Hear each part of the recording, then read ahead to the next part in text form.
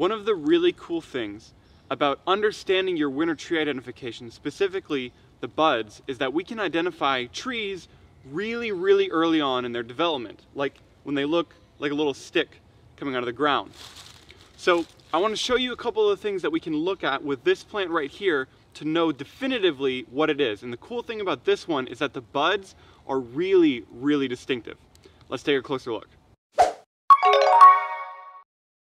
Okay, so first we're going to take a look at a couple of general points and then two specific ones that give it away immediately. So the first thing that I'm looking for is that the buds are growing in an alternating pattern. So here's a stem and they're growing alternating up the stem, not opposite where they'd be growing off the same point.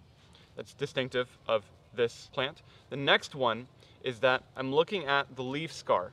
So the point where the leaf had broken off from the previous growth, and they're very prominent, very large, and the bud sits right atop them.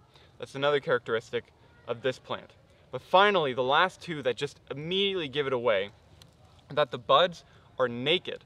What that means is that what we're seeing here is actually the leaf that's going to be forming when the bud develops further into a full leaf.